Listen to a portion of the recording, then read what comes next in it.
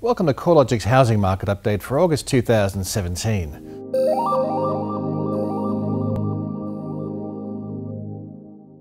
CoreLogic's combined capital cities index recorded another rise in July, taking dwelling values 1.5% higher over the month to be 10.5% higher over the past 12 months. The strong month on month results was largely attributable to a 3.1% increase across Melbourne, which was now recording the highest annual growth rate with values 15.9% higher. Canberra also showed a substantial gain in dwelling values over the month, with the index value up 2.4%.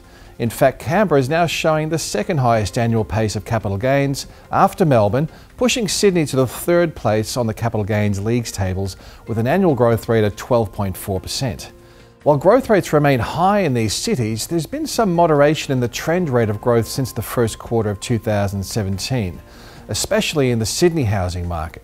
Sydney's quarterly growth trend has eased from 5% over the March quarter to 2.2% at the end of July. Melbourne and Canberra conditions have been more resilient to a slowdown, though, with the rolling quarterly growth rate holding reasonably firm around the 5% mark in Canberra and 4% in Melbourne. Other capital cities aren't showing the same level of exuberance though. Dwelling values continue to slip lower in Perth and Darwin and were also slightly down in Brisbane during July. The silver lining around the weak housing market conditions in these areas is that housing affordability is far less problematic relative to the larger cities. Better housing affordability can be seen in first home buyer trends, with activity across this segment of the marketplace proportionally higher than other states and trending upwards. While capital gain conditions remain diverse, so too does housing turnover. Broadly, the number of transactions across the combined capitals has reduced by 4.3% over the past 12 months, and annual transaction numbers are now 16% lower compared with this cycle peak, which was back in mid 2014. The largest year on year falls in settled sales have been in Brisbane and Melbourne, with sales down 9.7% and 7.6% respectively. At the other end of the spectrum, Hobart and Darwin have both seen a lift in turnover by about 11% over the past year. Housing turnover is being affected by a range of factors, including inventory shortages, tighter credit policies, higher mortgage rates, and lower consumer sentiment. However, many of these factors vary substantially from region to region. Another facet of the housing market is that houses are substantially outperforming units. The combined capital city index shows that over the year, house values have risen by 10.9%, while unit values have increased by 7.3%. The performance differential is most significant in Melbourne and Brisbane, which are the two marketplaces where concerns around an oversupply of unit construction are most pronounced. According to the CoreLogic Hedonic Home Value Index, house values in Melbourne are 17.2% higher over the year, compared with a 4.6% rise in unit values. While in Brisbane, house values are 2.6% higher, while unit values have actually reduced by 1.4% over the past 12 months. The weak performance can probably be attributed to both higher unit supply levels around the inner city regions, which has led to tighter credit policies from lenders and heightened caution from investors in these areas. Adelaide's housing market has continued to trend steadily higher, with dwelling values 1.1% higher over the month to be 2.5% higher over the year to date. Dwelling values are rising only slightly faster than inflation and wages, which has provided for very affordable home prices, but not a great deal of wealth creation compared with markets like Sydney and Melbourne. In a positive sign, the average selling time is reduced compared with a year ago, indicating a strengthening selling environment which could support some additional price pressures in the marketplace. Slower growth conditions, at least at a macro level, are being brought about by several factors. Firstly, it's clear that investment in the housing market is now tapering. Growth in investment related credit peaked in November last year, and since that time, the pace of lending for investment purposes has been moderating. Considering investment activity is heavily skewed towards the Sydney housing market, less activity across this segment is likely to have more impact compared with the other capital cities.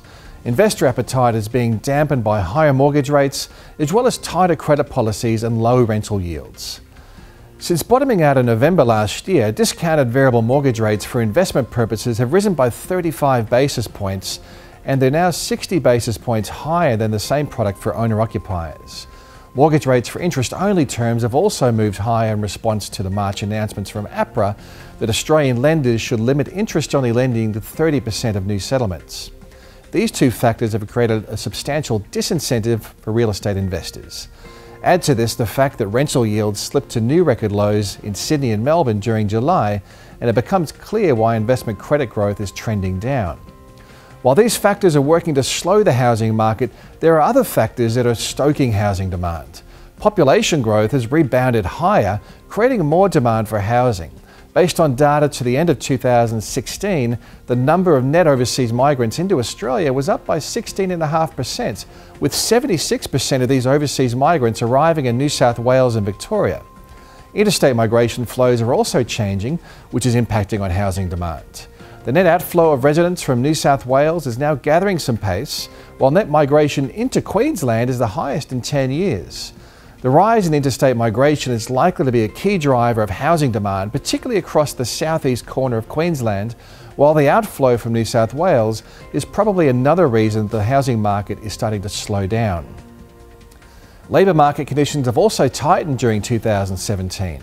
The past five years saw 75% of Australian jobs created in Victoria and New South Wales, which has supported the high rate of population growth in these regions. More recently, jobs growth has become more broadly spread, picking up across most states and territories. Another factor to consider in New South Wales and Victoria is the effect of new first home buyer stamp duty concessions. As of July 1st, first home buyers in New South Wales were exempt from stamp duty when purchasing a home under 650,000 and stamp duty is discounted up to $800,000. In Victoria, stamp duty exemptions became available for properties purchased with a price tag of less than $600,000, with concessions on stamp duties up to $750,000.